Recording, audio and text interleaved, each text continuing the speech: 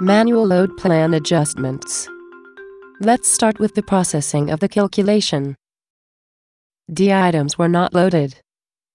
Because of these non-stackable A items, we will adjust the load plan manually to resolve this.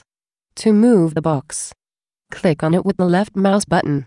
By pointing at green highlighted areas you can choose where the box will be placed. Click again and box will be placed to new position. Notice that box can be placed also on non-stackable items. No constraints are applied when adjusting the load plan manually. You are free to arrange the boxes as you wish. Let's have a look how this can help. Let's assume that these A boxes are light enough, so they can be stacked on top of each other. We will rearrange them. You can hold left mouse button and move the mouse to rotate around load plan while moving the box. There is extra box left, so other functionality can be shown. If you move around with the box, it will automatically snap to the nearest boxes.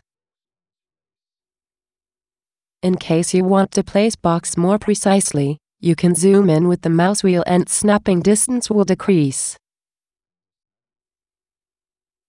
Then you can place box exactly to desired position. For now we will remove the box from the load plan. You can click this button or hit delete key. Just in case you would like to remove all the boxes from load plan, you can click this button. Then you can set up whole load plan manually. You can notice in result list that a box has been removed. Let's rearrange D boxes. To rotate the box, click on it with the right mouse button. And click any arrow to rotate in desired direction. When the box frame is red, it means that box is in invalid position and cannot be placed.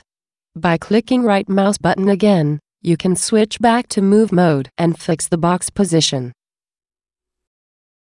To save your time, we will speed up this part of rearranging the blue boxes.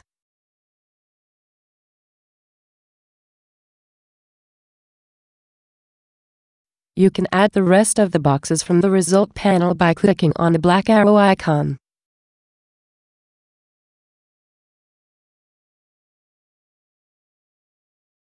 Now we have all blue boxes placed. Last red A box can be returned back to load plan. And you see, it nicely fits right there. Now you know how to use manual load plan adjustments to tune up calculation result. Thank you for watching.